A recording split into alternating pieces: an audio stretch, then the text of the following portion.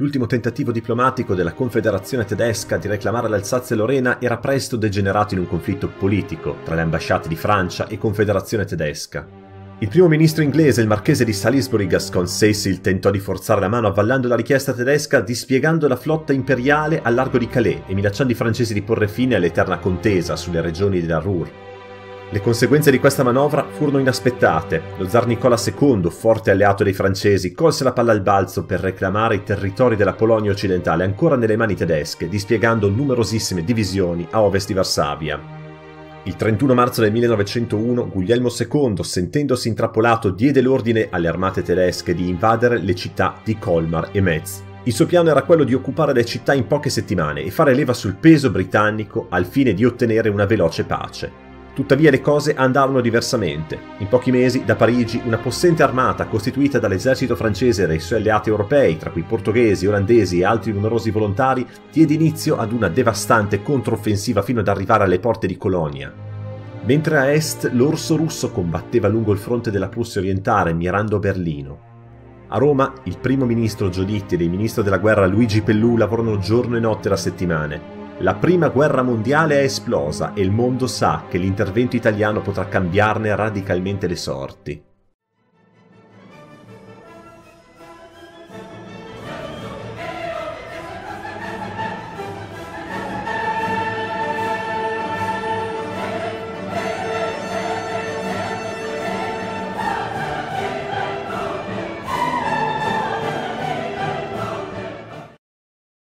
Amici e amiche di Endio Channel, bentornati a un nuovo episodio di Storia Alternativa con il Regno d'Italia. E questo è un episodio molto particolare perché è il 7 novembre 1901 e siamo nel bel mezzo di una grande guerra, forse veramente possiamo dire la prima vera e propria guerra mondiale che vede da un lato il Regno Unito, la Germania del Nord e la Danimarca scontrarsi e vincere al momento contro la Francia, l'impero russo e una coalizione di stati come l'Olanda, il Portogallo e la Svizzera, stati minori. Allora, l'obiettivo di questa guerra è la liberazione dell'Alsazia e Lorena. Se i tedeschi riusciranno a strappare questa regione ai francesi, non soltanto la Francia verrà eclissata, ma nel caso in cui poi riuscissero con la diplomazia a imporsi in Baviera, in uh, Württemberg e in Baden, potrebbero finalmente unificare la Germania e quindi ottenere lo status di secondo Reich. Ce la faranno? Questo non è dato saperlo. Noi come Italia al momento siamo fuori da questi giochi ma stiamo guardando con estrema attenzione, inoltre abbiamo l'infamia 1560, quindi potremmo iniziare a fabbricare un casus belli per poter entrare, diciamo così, di soppiatto, attaccare i francesi, insomma, cercando di, eh, di cogliere la palla al balzo. È un'idea che mi, mi, mi interessa molto. Nel frattempo, prima di iniziare, voglio vedere se riesco a abbassare l'opinione, no, più di così non si può. Qui in Ottoman Empire va tutto bene, in Spagna i francesi stanno cercando di migliorare le relazioni con gli spagnoli, in Persia lo UK sta migliorando le relazioni con la Persia e questo non mi piace affatto. E basta, per ora diciamo che così può andare. Allora, io direi di togliere il tasto di pausa Innanzitutto abbiamo il military che è al massimo e potrei riflettere sulle alleanze che hanno al momento i francesi, ossia Russia, Olanda, Portogallo e Lussemburgo. Hmm. Che però sono impegnati d'altra parte a loro volta eh, nella guerra mondiale, quindi fondamentalmente se io adesso dichiarassi guerra alla Francia, forse soltanto la Svizzera potrebbe cercare di, di bloccarmi in qualche modo, però io quasi quasi faccio un giustifica eh, cut down to size. Costa 13 di infamia, però il cut down to size praticamente ci permetterebbe di eh, chiedere ai francesi di deporre le armi per 5 anni dimezzando il loro esercito e questo sarebbe veramente molto eh, doloroso per loro. Quindi adesso inizio a fare il caso Sbelli. Veramente incrocio le dita che non venga... Eh, alzo la velocità. Incrociamo le dita che questo caso Sbelli non venga intercettato subito, altrimenti finisce molto male per noi. Intanto abbiamo migliorato la tecnologia militare e direi che è giunto il momento di proseguire su questa linea perché è molto importante avere tecnologia militare alta. Vediamo se ci sono movimenti ribelli che possiamo reprimere. Ok. C'è sempre il rischio... Ah, abbiamo vinto le Olimpiadi, bene. C'è sempre il rischio di vedere giacobini e comunisti che si ribellano con 68 e 33. E eh, vabbè, e qui c'è poco da fare. Purtroppo... Mm, o abbassiamo la tassazione, ma non mi sembra il caso. Intanto dobbiamo iniziare ad alzare gli armamenti, direi, se vogliamo buttarci in questa guerra. Vediamo cosa dicono i giornali. Paura in Punjab. Crisi uh, evitata. Socialisti liberali sono sempre testa a testa in Parlamento. Oh, masse, le masse vengono misguided, eh, manipolate. Good call. Ai ai ai. Casus belli eh, contro la Francia fino al 25 febbraio sarà più lento. Peccato. Però, però, però siamo già al 26%. Questa è una Francia che ha il secondo esercito al mondo, quindi dobbiamo fare estremamente attenzione. Ma è anche una Francia, secondo me, che eh, è molto impegnata. E mi sembra di capire che lo UK... Uh, c'è andata benissimo, 8 di infamia, bene, non abbiamo il, il, bad boy, come si suol dire. Lo UK ha tantissimi uomini che sono bloccati dai, sui porti, quindi noi dovremmo cercare di liberare forse lo UK dal blocco navale francese per permettergli di sbarcare in Francia. Questo potrebbe cambiare anche un po' le sorti della prima guerra mondiale. Facciamo molta attenzione perché la, la Germania per ora sta combattendo sui due fronti con grande forza, però l'Austria è fuori dai giochi al momento. Questo è molto positivo. E se noi dichiarassimo guerra alla Francia, l'Austria sarebbe fuori dai giochi. Molto bene, molto bene ragazzi. Siamo al 50%, io direi di iniziare a fare la mobilizzazione dell'esercito. Mobilitare è molto importante perché ci dà subito modo di raccogliere truppe eh, che poi possiamo utilizzare per attaccare, perché dovremo attaccare i francesi, non possiamo rimanere in difensiva questa volta. Però sarà interessante, 56%. È incredibile che lo UK si sia fatto infinocchiare in questo modo. La Svizzera chiede un diritto di passaggio e lo neghiamo. Guardate quanti uomini che potrebbero entrare in guerra. Stiamo parlando di 8, 16, 161, eh, praticamente 350.000 britannici che non aspettano altro che invadere la Francia Ah, c'è una nuova crisi, tra l'altro. Le crisi, ragazzi, bisogna toccarle con le pinze. Grecia, Impero Ottomano, me ne frego. Non sto né con uno né con l'altro. Crisi fallita perché nessuno ha accettato di prendere parte. Ci credo, ragazzi, ci credo bene.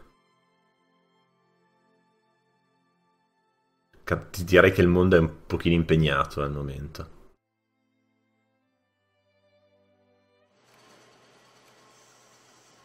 Siamo al 75% praticamente e io oserei dire che la nostra flotta può in tutta tranquillità spostarsi al largo della Spagna. Speriamo di poter portare i nostri amici spagnoli con noi. Io ovviamente chiederò alla Spagna di entrare in guerra. È molto importante che accettino.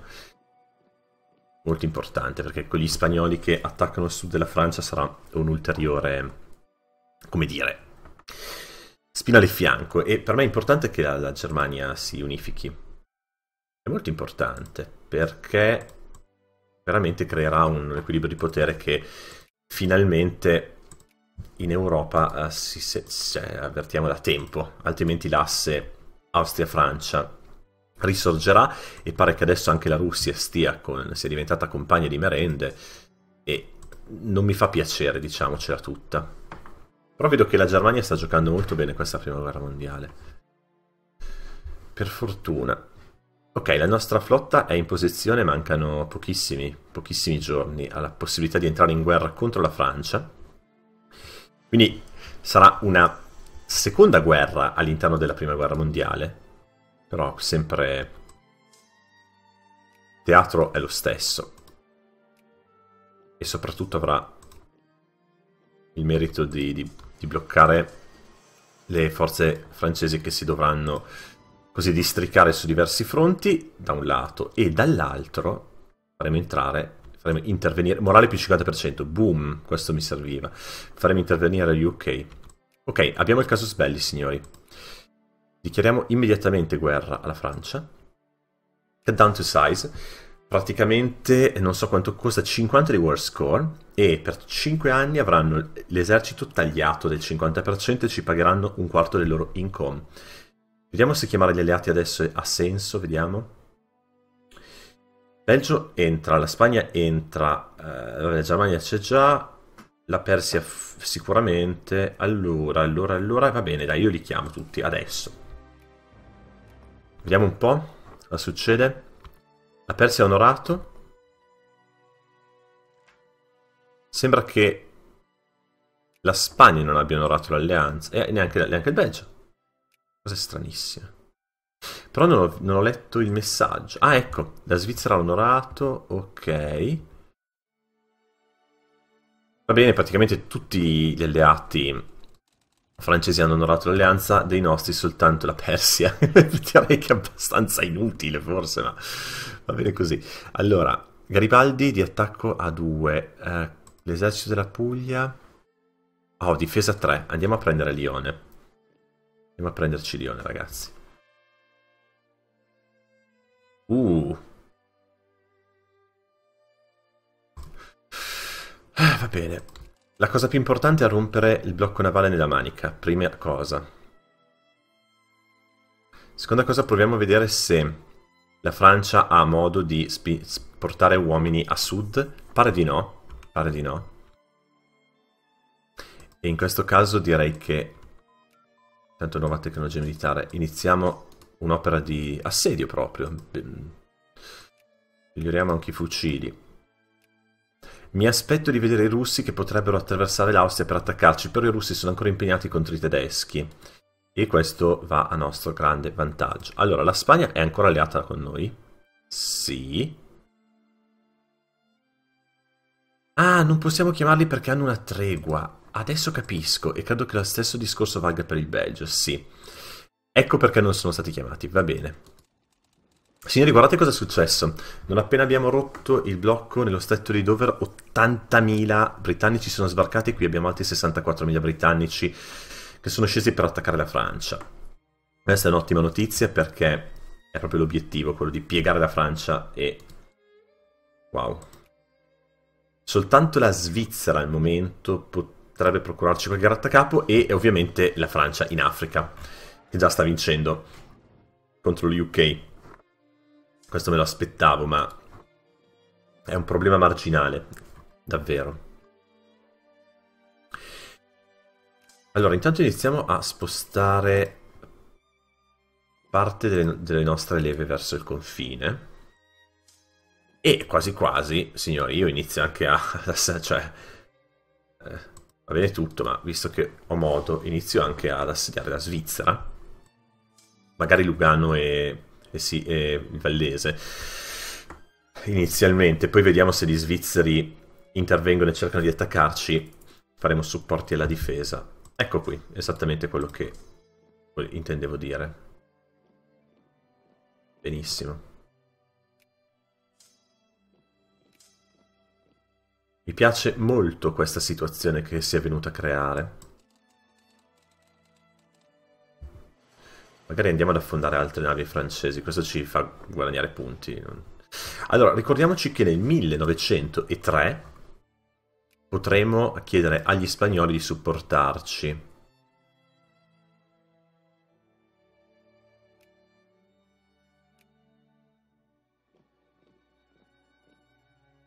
Qui abbiamo 2000 uomini del Lussemburgo che proteggono Chur.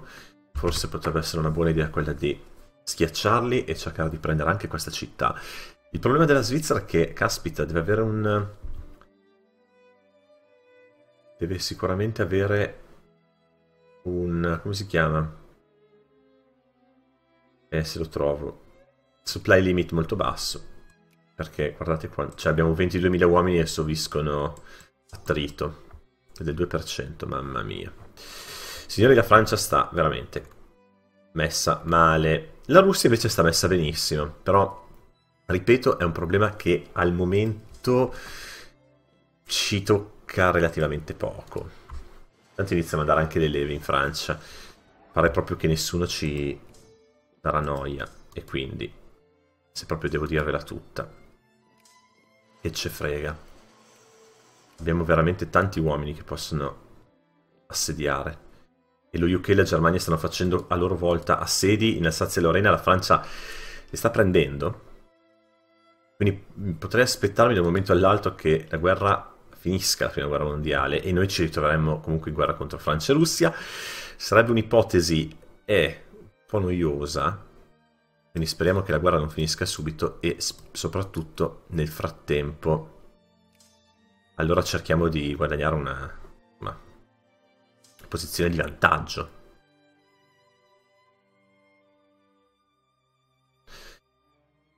La nostra comunque non è una guerra mondiale, quindi eh, quella in cui siamo noi, è la guerra italo-francese, quindi potrebbe essere una buona idea quella di chiedere una pace separata agli svizzeri appena possibile, semplicemente per buttare fuori un, nemico che cioè, non, non ci interessa. Parigi è già sotto assedio? No, ci sono 25.000 francesi a difenderla. E che dire, eh, sì, ci potremmo andare noi. Vediamo. Però i britannici sono già alle porte di Parigi. Ok. Ho anche detto che le città che prendiamo noi sono città che sottraiamo ai tedeschi e ai britannici.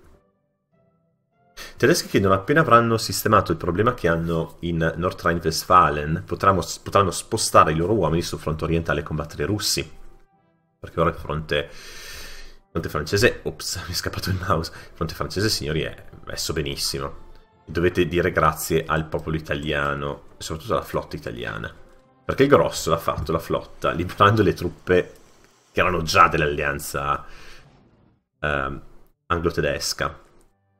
Tanto qui in Svizzera va bene, dai, abbiamo fatto cadere un po' di, di città, abbiamo liberato ancora il Channel. Proponiamo una pace di svizzeri? Non accettano comunque nessuna pace separata, dicono attaccatevi il piffero. Ok. E eh, allora noi ci andiamo a prendere Zurigo. E magari attacchiamo anche Berna, che è la capitale, eh?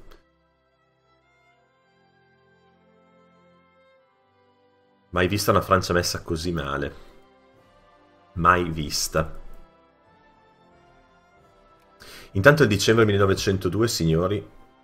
4 aprile 903. E allora che cacchio avevo letto prima? Scusate, avevo letto 902. No, ancora 4 mesi praticamente e potremo chiedere a belgi e spagnoli di entrare in guerra al nostro fianco.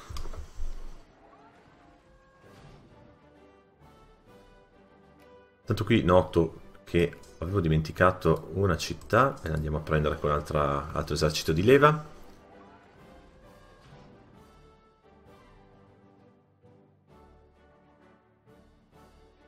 E i britannici spaccano. Infamia direi che non ci serve. Siamo a 23-47 per pura fortuna potevamo essere sopra già il 26 con conseguente alleanza di altre nazioni, qualsiasi genere, gli Stati Uniti che so, per contenere l'arroganza italica. Ma niente di tutto questo. Signori, allora io quasi quasi mando il Fifth Army che ha un generale con attacco più 2, sì, ci sta. Lo mando a Parigi e cercherò di prendere la capitale francese. Magari a supporto. Andiamo altro. È sempre esercito di leva. Perché che ce frega, dai.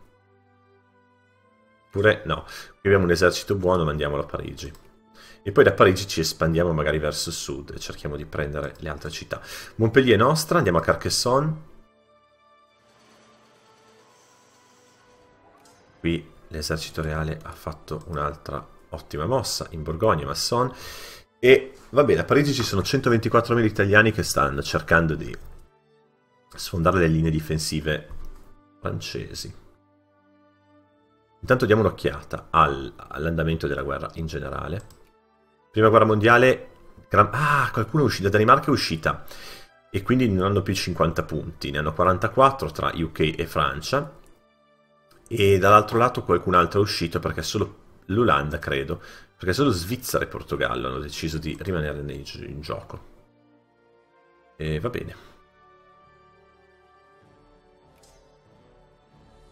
Invece dal lato nostro, scusate, mi sono dimenticato 7 punti perché le battaglie sono andate bene e le occupazioni che facciamo in Francia ci danno tanti punti. Ce, ce li levano quelle che hanno loro in Africa, ma ripeto, gli stiamo dando molto fastidio. Nichilismo e la volontà, ottimo. Possiamo fare una riforma, direi, di eh, fare i sussidi di disoccupazione. Perché ci serviranno, visto che qui le fabbriche, ragazzi, senza... Boom! No, qui ragazzi miei c'è da fare qualcosa. Ragazzi, c'è da fare qualcosa per la disoccupazione a questi mi fanno altro che rivoluzione comunista. Mi mettono al governo Satana se... Se non aiuto... Mettiamo sussidi, qualsiasi cosa. Cioè, devo assorbire tipo 200.000 disoccupati. Adesso con i sussidi di disoccupazione avrò spese sociali che... No, bassissime. Eh, che sussidi vuoi che gli dio? Eh, che gli dio? Che, gli, che io gli dia? Una crisi mistica. No, vabbè, dai. Eh, rischio tantissimo con le rivolte. Tanto combat with ha migliorato, va bene. Andiamo avanti con il military directionism. Ormai qui si studiano soltanto tecnologie militari. L'andazzo è quello, eh. E qui stiamo vincendo, ma quanti morti stanno... Erano 120.000 italiani contro 30.000 francesi, adesso siamo 80.000. Wow. No, no, no, no, no, no, no, no, no, no, fermati. Intanto in Svizzera Berna è caduta. Allora, io oserei dire una cosa, se, ci, se stanno, sono d'accordo. Accettano la pace bianca. You want a total victory. We negotiate on behalf of our entire alliance. They are merely negotiating for themselves. Procedi. Svizzera fuori dalle scatole. Vediamo se possiamo fare lo stesso giochino con l'Olanda. Non accettano. Non accettano, forse potrebbe essere un'idea quella di andare a bloccare il porto di Amsterdam. Chi altro rompe le scatole? Bielorussia col cavolo, Portogallo e Lussemburgo. Mm. La Russia mi fa paura, mi fa paura soprattutto in quest'area, quindi io sposto un po' di uomini verso l'Austria. Magari è una paranoia, però... Allora, mando l'esercito di guerra a Parigi a questo punto, perché servono altri uomini che schiaccino questa difesa che tenace. Eh, eh lo sapevo che avevamo delle rivolte. I nazionalisti croati. Che è un... Abbiamo vinto a Parigi, ottimo. No, allora, fermi tutti. Fermi tutti. Dov'era l'esercito che stava andando a Parigi? Vabbè, chi lo può sapere? Io direi di mettere il Second Army qui e l'altro all'esercito ligure già a Parigi. Uh, wow. Il Fifth ad Orléans e uh, a questo punto, boh, andiamo avanti ad assediare. Qui abbiamo eserciti che si sono liberati, li mandiamo a Torino e a Chambéry e Nizza, sul confine. Poi deciderò cosa fare di loro.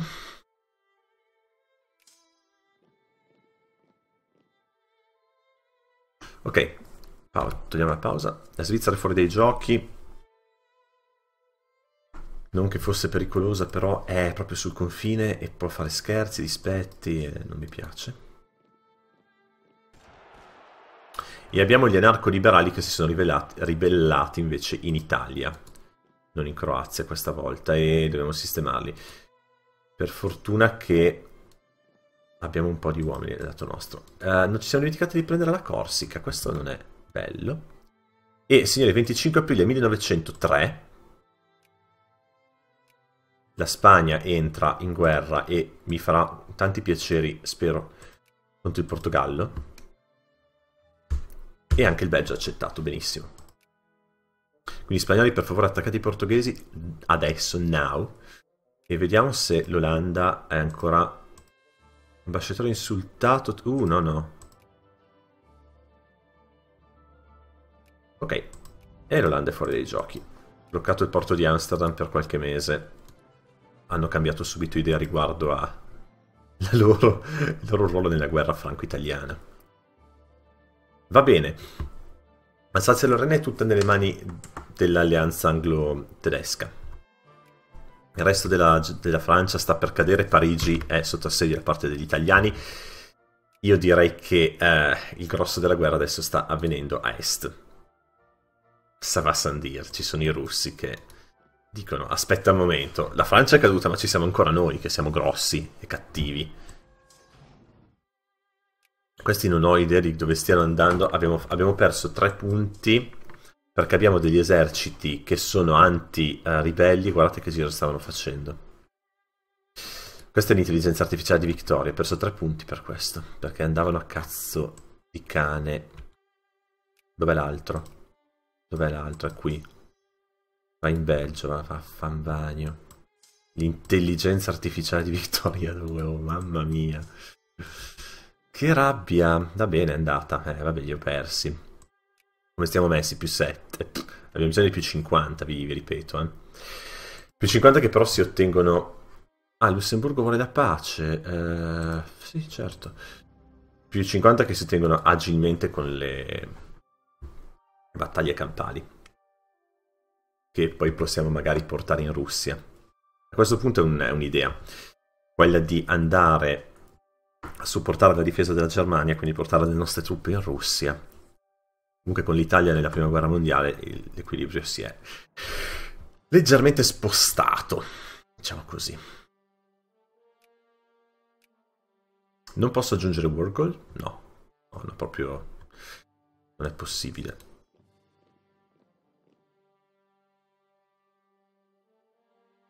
Vediamo. Ma eh, una volta presa Parigi, secondo me, potrebbe veramente essere una buona idea quella di... Spostiamo l'armata romana a Magdeburg. Dai, avanti.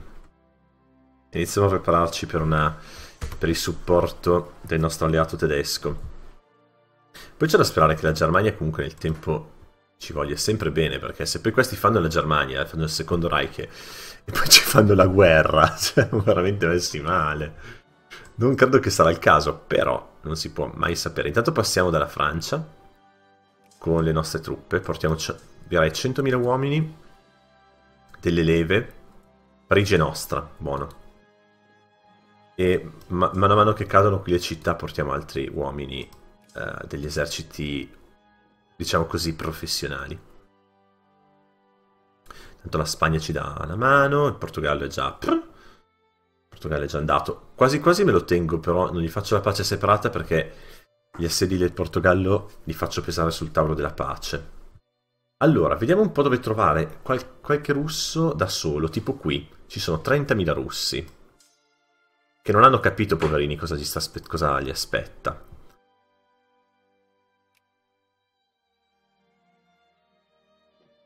Andiamo a Gorlitz, 18.000 uomini, no, già ce ne abbiamo 36.000. Dove cazzo andà? Ah, questi altri che... Hunting Rebels. Eh, vai a capire dove ce li ho gli Hunting Rebels adesso. Mi sono dimenticato di levarli, ma... Uh, caspita! Az, questo è un problema per i tedeschi. Diamogli una mano perché cosa sono? North German Red Guards, hanno i comunisti che si ribellano. Yuhu!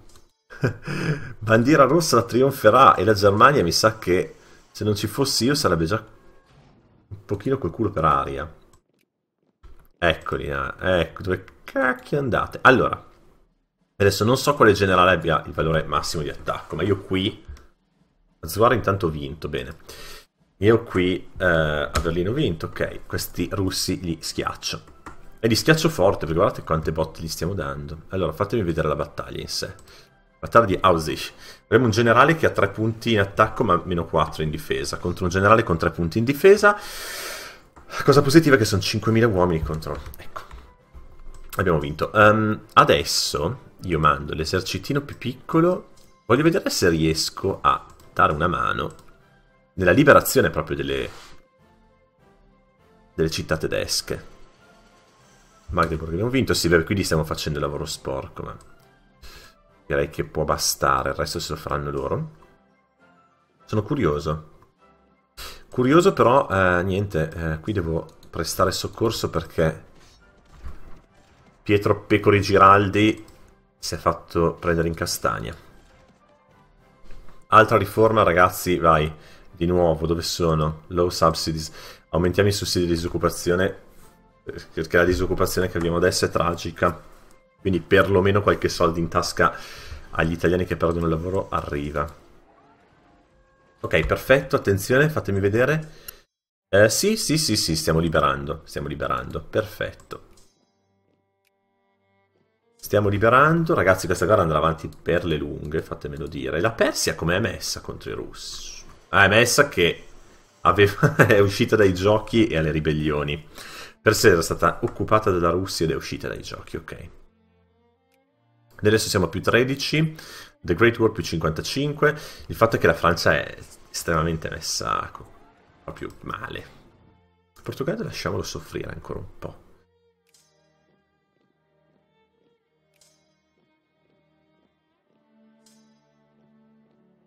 Va bene, ok.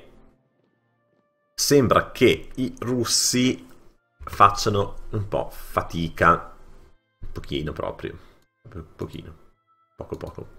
Ragazzi, allora, vediamo un po', uh, non ho tenuto conto del tempo, ma credo che l'episodio possa concludersi qui. Mettiamo la pausa. Prima guerra mondiale che sta andando uh, molto positiva per l'Italia e la Spagna e il Belgio, che fanno parte, diciamo così, della seconda ondata della guerra, ma anche la prima ondata, l'alleanza anglo-tedesca, sta stravincendo contro il fronte franco-russo. L'Austria è sempre la finestra che guarda. Io vi chiedo di mettere un pollicione in su su questo video se vi è piaciuto, di iscrivervi al canale se non l'avete ancora fatto e ci diamo appuntamento al prossimo episodio. Grazie per essere stati con me ragazzi, alla prossima!